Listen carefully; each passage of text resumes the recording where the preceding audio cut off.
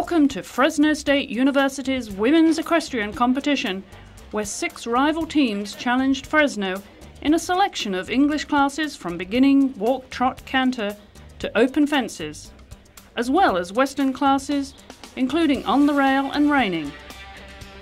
We'll be bringing you action from the competition and take a look behind the scenes at this emerging NCAA sport to learn more about how students become involved with horses here at FSU. Coming into this competition, Fresno was 13 points down behind UC Davis, but a strong start by seniors Michelle Tonello and Amanda Hancock soon put them in the driving seat in the English division. Michelle won the open fences class ahead of teammate Dawn McIntosh, a win that she was clearly satisfied with. Well, I was very excited about my win today. It's my last regular IHSA show of my career. I've been here for four years.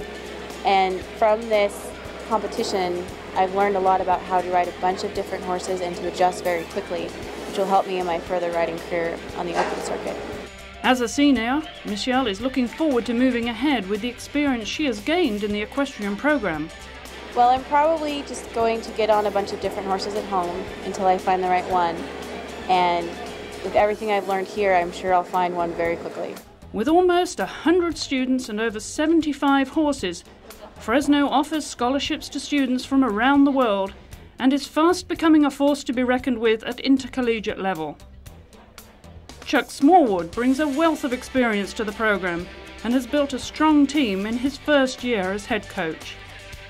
While dedication to any sports activity in school is key to the team's success, Chuck is mindful of the time that students have to spend with the horses.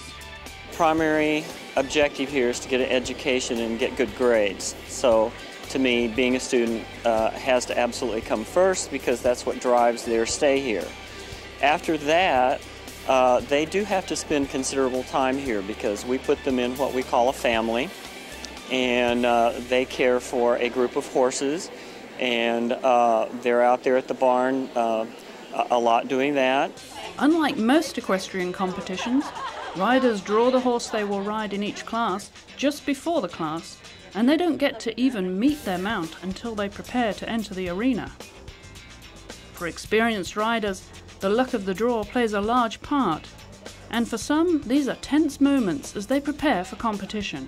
We try to keep them uh, on an even footing. We try not to go and and bring in a star and then have a horse that's of uh, just uh, a low quality that just barely makes it around the course or isn't uh, uh, responsive enough to, to be an upper level horse for the upper level riders. We try to keep them pretty even. So we bring pretty much medium horses or as um, high a quality as we can without having um, a star show up and, and uh, uh, make the judge have to deal with uh, overlooking what the horse is doing and seeing what the rider is doing. So we look at them during the week. Uh, we try to make sure that uh, all the horses get in and, and go around the courses or get in the venue where we're showing and make sure they're all happy with it. Um, they sort of sort themselves out with either injuries or um, not dealing with the uh, area that we're showing in, things like that. Try to just make sure all the horses are happy going forward. Um, our horses here at the university are all university owned for the team. They're donated. Uh, we do take in a few lease horses because, to fill holes in uh, specialty areas or if we're getting to, ready to retire somebody, we lease a horse that will fill its uh, spot.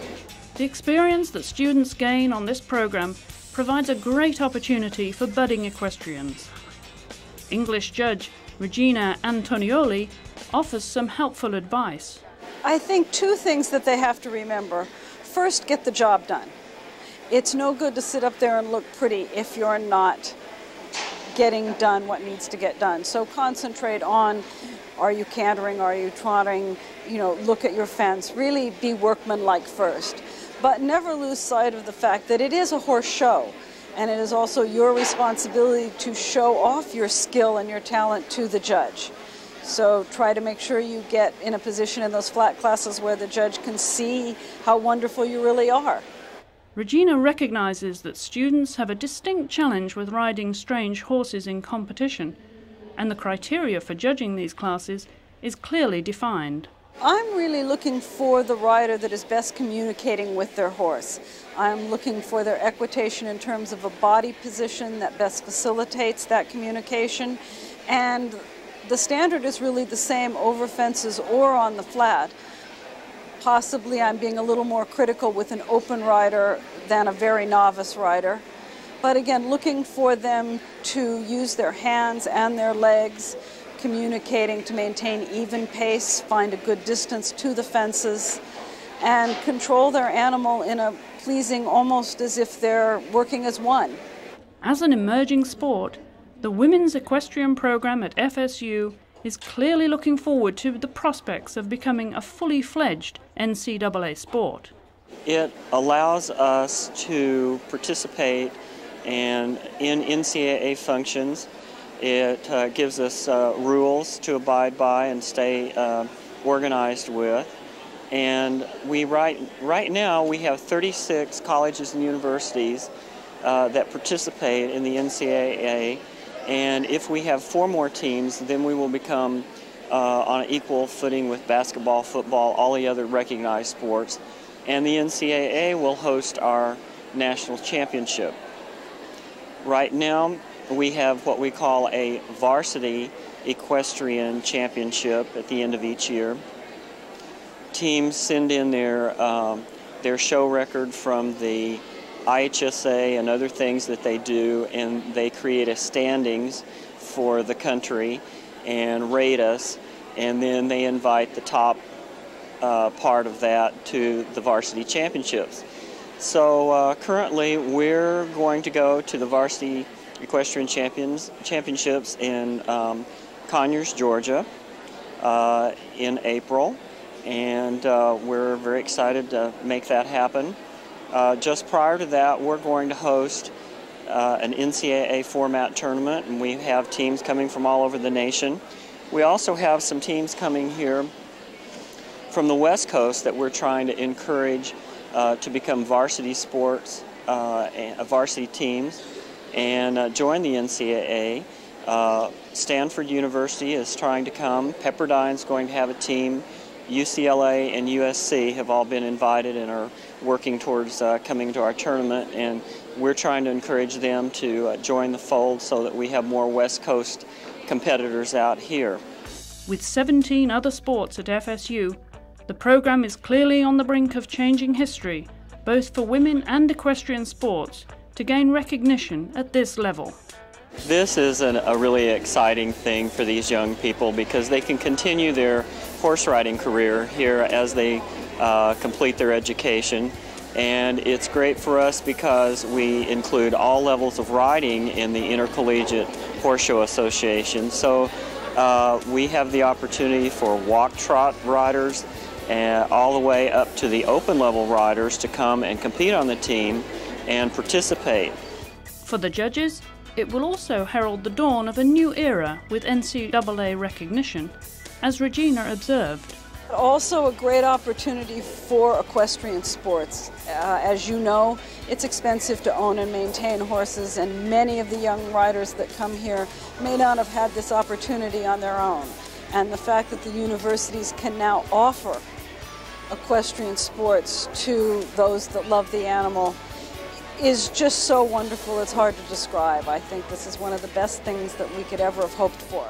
Well, we have three winners here today. We have Layla Mundy and Dawn McIntosh and Katie Flanagan. They're all won in the English division.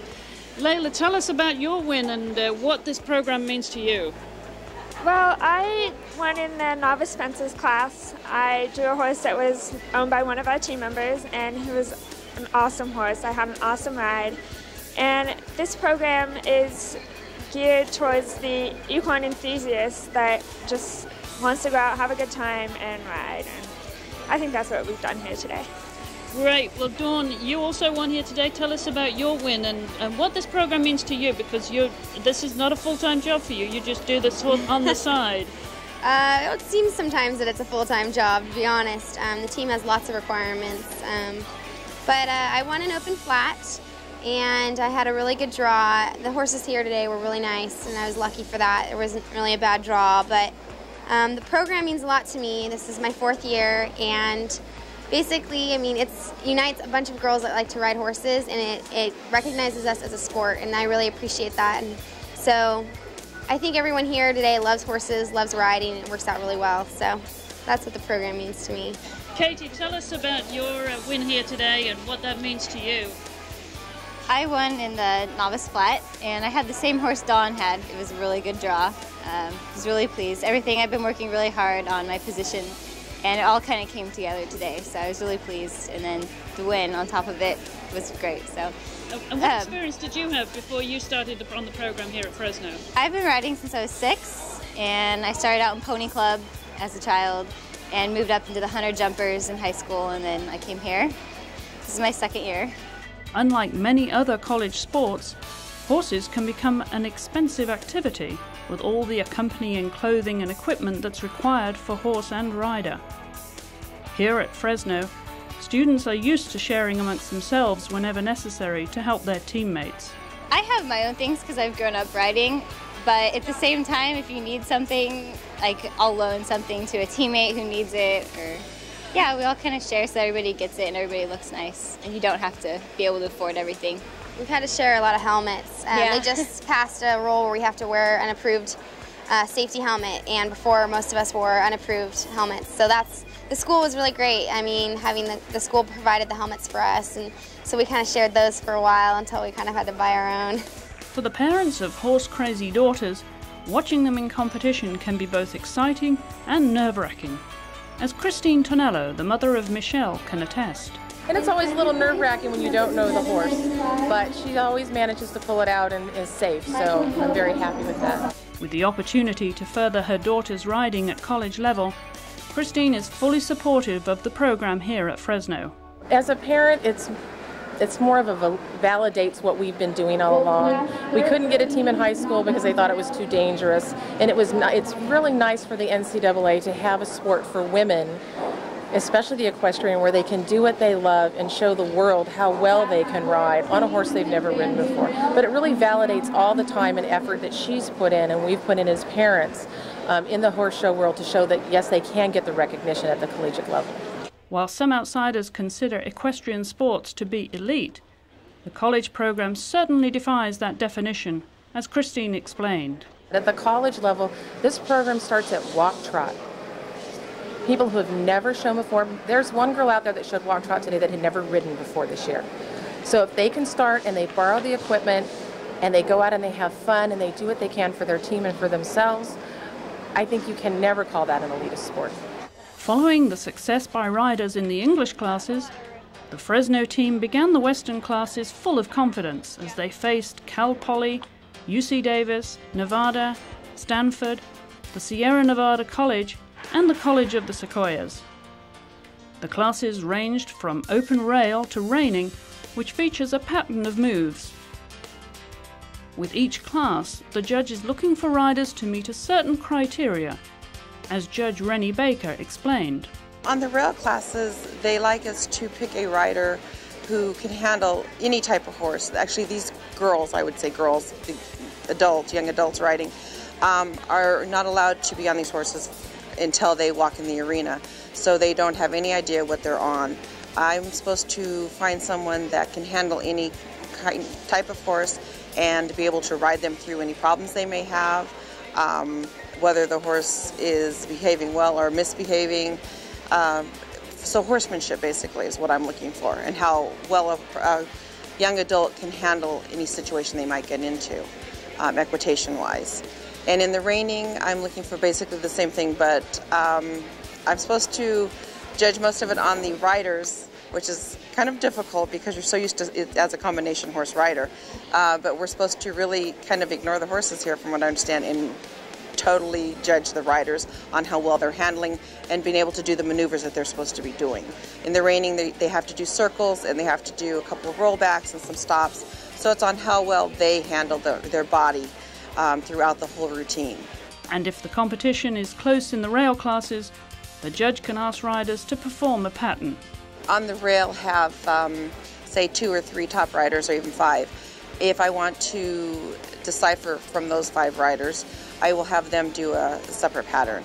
Um, there's different choices I can do. I can have them uh, ride without stirrups, um, do like a figure eight, um, a stop, a back, um, a 360 degree turn either direction, and just see how they handle the horse that they're on and how well they do it um, if I need to make a decision between, like I said, the top five riders. I don't have to have a pattern if I feel that I already have the class placed and everybody is, you know, like a for sure first, second, third, fourth, and fifth. I won't have them do a pattern. But if I need to, um, I have that option. As in the English division, horses are drawn by number and riders have no chance to get to know their horses before they face competition. This is also a challenge for the host team to prepare a selection of horses that will provide a fair playing field for all the teams. It requires good management and careful training, something that falls on Giulia Scrivani as the barn manager at FSU. She has the job of overseeing the welfare, management and training of almost a hundred horses under the direction of head coach Chuck Smallwood. So how are the horses trained and chosen for the competition? We usually go through a trial process the first week to make sure that they're going to be okay in here in the settings, the present settings, and then we'll also bring in like outside people to ride them in addition to our riders just to make sure they're rideable. And then we'll come here and try to see, and if people can't ride them, then we'll pull them from a class. Sometimes if we have a young green horse, we'll assign it to a specific rider or group of people, and they'll take care of that horse for a while and ride it in lessons with Chuck or we'll assign like an older horse who needs maybe tuning up or something to one of our older riders that needs that would just like to tune up. But usually in the lessons, he'll implement all the training with the riders that you know assign us horses for our lessons that are appropriate to our level.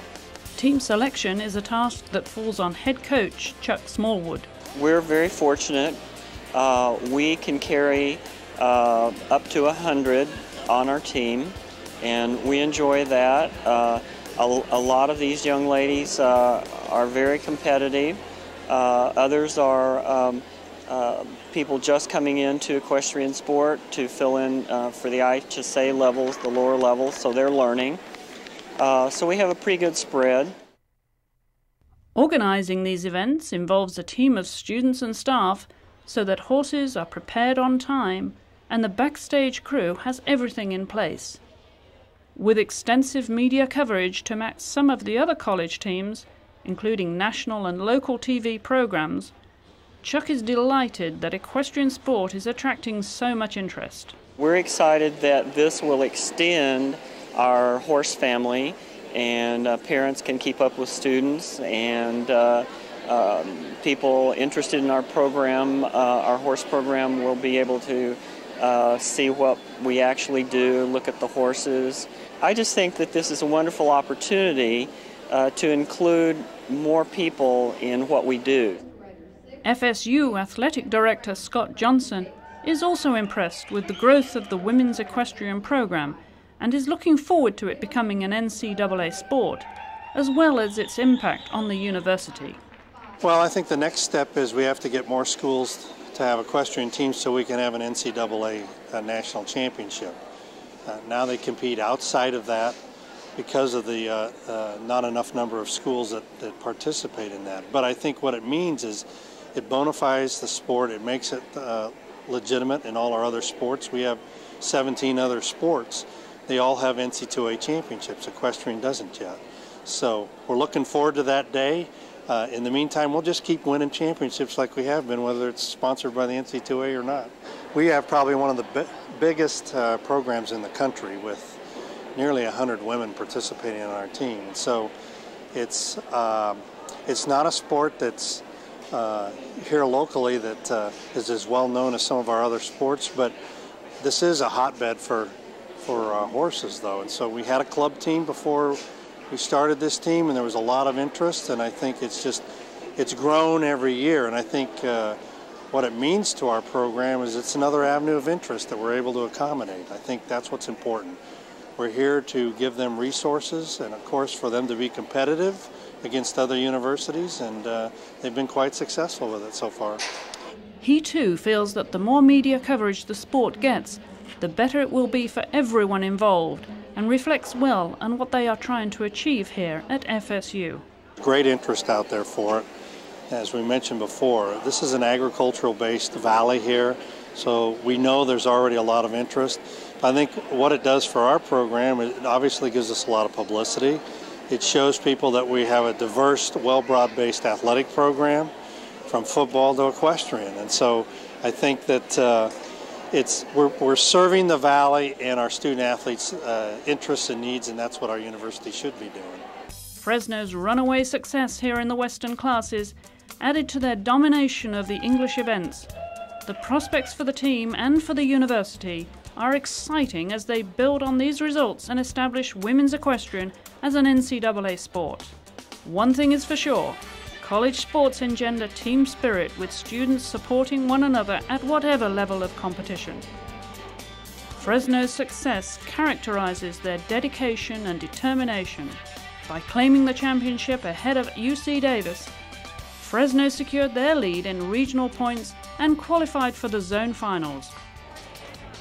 It's been an exciting competition and students are pumped up as they look forward to their next event. That's all from Fresno this time. Be sure to join us again on Horse TV when we'll be bringing you more action from Fresno State Equestrian Team.